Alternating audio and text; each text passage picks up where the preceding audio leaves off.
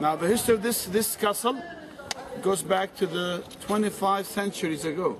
Hmm. All right, we talk about 900, 850 BC. Hmm. This castle was, or the name of Karak, was mentioned in the Bible, in the Old Testament. Hmm. It's mentioned Karak Castle being attacked by the king of Israel with his allies, the kings of Edom and Judah, or Judah. You know Judah, the kingdom of Judah? Yes. Okay, in that direction, the west, in Palestine or Israel, and the kingdom of Edom. Do you know where's the kingdom of Edom? Yes. North. south of Jordan, Petra and Aqaba. We are in the Moabite kingdom. So this was called Kir Moab in the Old Testament. Kir Moab. You remember on the map was called uh, Karak Muba later on. So different names being called this castle. Kir, Kir Haris, Kir Moab, and nowadays Karak. What does Karak means? Karak. What does it mean? Karak. Karak is the big wall city. Wall city. Then came the, the, the Romans. Always they used the castle. The, the, the Byzantine, the Christian, they used the castle.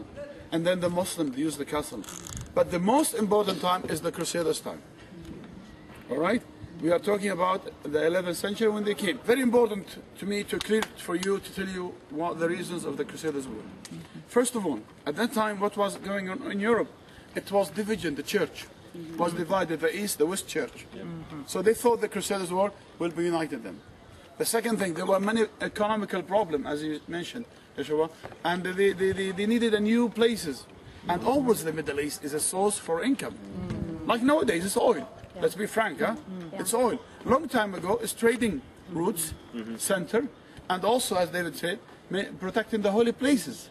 You can make a lot of money if you control the, the, the, the holy place. Like this castle was, they were taking taxes from the caravans, right? Using the King's Highway, the Muslim from Damascus to, to Egypt, from ah. Syria. So they make money, taxes. Also, a very important issue, at that time, most of the knights were second sons. You know that? Mm-hmm. They couldn't inherit anything in Europe. So they have to come to this area. They have to establish their own kingdom. Hmm. All right? Oh, that's interesting. Yeah, most of them, that. they were second son. Uh, second son. And last reason at that time, the threat of the Muslims at that time. Mm-hmm. Muslims were threatening hmm. because before that, we had the Umayyad. You know the Umayyad, the, the, the, the Moors, the Moors you call them? They, they reached Spain and Swiss and France. Hmm. They surrounded Swiss for a while. So another reason that the threat of the Muslims, they were in Yeah, Turkey, ask him that. they were threatening to attack Europe. And also there were many wars in Europe.